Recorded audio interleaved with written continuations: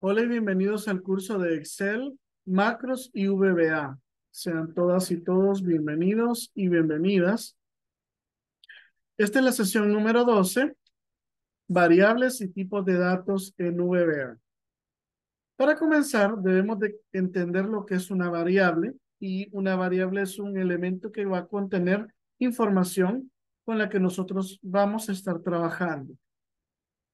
Estas variables están diseñadas para poderse operar de ser necesario y casi siempre se trabajan con los tipos integer, que es los eh, que almacenan números enteros, y double, que almacenan números con puntos decimales.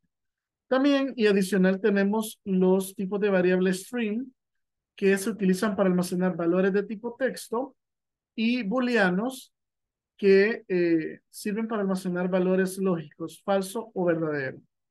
Adicionalmente también a eso tenemos lo que es la variable de tipo date, que se utiliza para almacenar fechas eh, en dichos tipos. Entonces, cada uno de estos tipos eh, los puedes encontrar en el manual, puedes estudiarlos un poco, ¿verdad? Concerniente a ellos. Además, también hay otros tipos de variables, como lo son el tipo de datos variant, ¿verdad? Eh, y también se encuentran eh, eh, dentro de estos los que pueden estar variando en la, cantidad de tipos, en la cantidad de datos y los tipos de datos que estos puedan tener. ¿verdad? Entonces podemos tener inclusive una variable eh, que contenga de bastantes eh, caracteres en sí misma. Muy bien, vamos a ver a continuación el siguiente ejemplo y lo vamos a explicar.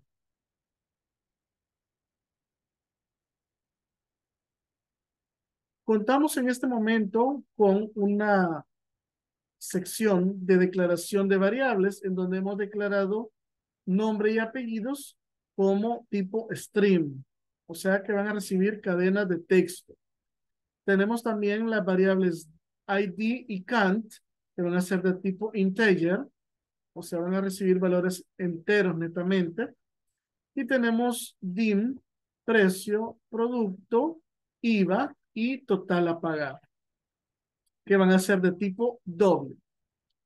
En el primer caso, son variables que contendrán solo cadena de caracteres. Luego tenemos la segunda línea que son variables que contendrán solo números enteros. Y la última que tenemos son variables que contendrán números decimales. ¿Ok? Luego de eso tenemos una zona en donde se van a peticionar los datos, ¿sí? Sección para ingresar los datos. En este caso se está solicitando el ID, el nombre y el apellido, que en este caso, para este ejemplo, no lo vamos a utilizar pero sí vamos a necesitar Kant y precio producto. ¿Verdad? En estos dos últimos hemos puesto val para que eh, la aplicación se comprenda que estos dos elementos son números. ¿Sí? Luego que, porque estos son los que vamos a operar. Luego tenemos unos procedimientos o procesos, le vamos a llamar, procesos a realizar. En este caso es encontrar el IVA del producto, del precio que nos dan. Entonces, al precio le vamos a aplicar el 0, eh, lo vamos a multiplicar por el 0.13 para obtener el IVA. Luego, el total a pagar sería la cantidad por el precio del producto más lo que nos dio de IVA por la cantidad para saber cuánto es lo que nosotros vamos a pagar por esos productos en correspondiente a su IVA. Al final mandamos un mensaje que dice, calculando total a pagar, cantidad de producto, aquí es cantidad, ¿verdad? Aquí les voy a sugerir que no vayan a colocar pegados los, esto que es una variable con estos elementos de concatenación, porque me les puede dar error. Entonces déjenles un espacio. Después de las comillas va el ampersand. Otro espacio va la variable. Otro espacio va ampersand. Otro espacio y empieza el siguiente texto. Luego le hemos puesto a eh, eh, producto cantidad a precio de, y aquí va el precio con el signo de dólar, precio producto, ¿sí? Que ya lo obtuvimos, más IVA, aquí le ponemos el signo de dólar para que nos muestre el IVA por la cantidad, que es esto.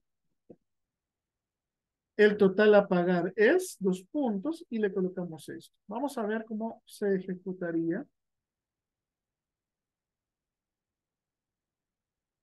Vamos a ver. Vamos a venir acá a Excel, damos macros y damos calcular IVA. Todos los primeros tres datos son datos que no los estamos procesando. Entonces le vamos a poner eh, uno, vamos a poner Carlos, vamos a poner acá el Dames, ahí tenemos un pequeño error, ya lo vamos a corregir.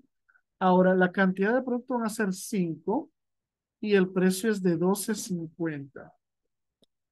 Vamos a dar Enter y nos manda un mensaje que dice, calculando total a pagar, cantidad de producto 5 a precio de 12.50, total eh, masiva, que son 8.13 aproximadamente, el total a pagar es de 70.62.5. Entonces, aquí solamente le haría falta que le apliquemos lo que sería en este caso formato de los números. Pero notemos cómo se aplica el uso de las variables dentro de lo que es eh, nuestro lenguaje de programación en Visual Basic. También podemos generar lo que es constantes.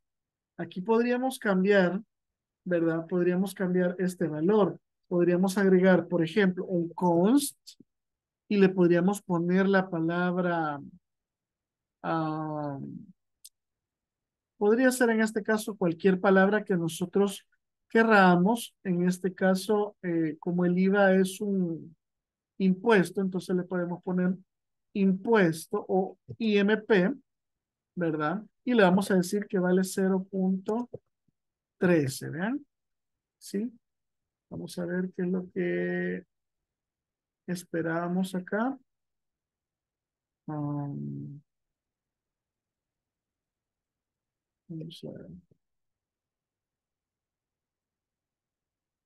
Se esperaba identificador. Sí, está bien. Const IMP igual 0.13. Bueno, vamos a ponerle la palabra impuesto. Ahora sí, qué. Creo que la palabra IMP está ocupada. Entonces aquí solamente lo invocamos, ¿sí? Tendríamos que tener el mismo resultado. Carlos Games 5 a 12.50 y vean tenemos el mismo resultado. Entonces este es, este es de arriba son declaración de variables y esta parte de acá son la declaración de constantes. Practiquen con los códigos que puedan encontrar en el manual. Esto sería todo para esta sesión. Nos vemos en la siguiente entrega.